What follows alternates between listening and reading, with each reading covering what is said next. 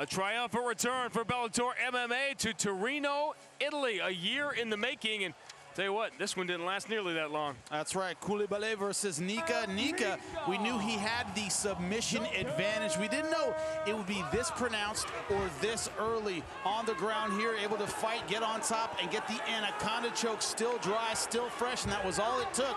First minute, first round. 36 seconds to win for Mihail Nica, putting his name on the list with a 6-0 start. Last time we saw Valerio Mechera, he almost upset Goiti Yamauchi. He didn't make a mistake this time. That's right. Mechera showed a lot of versatility in this fight where his superiority was really evident was on the ground. He wins a majority decision victory.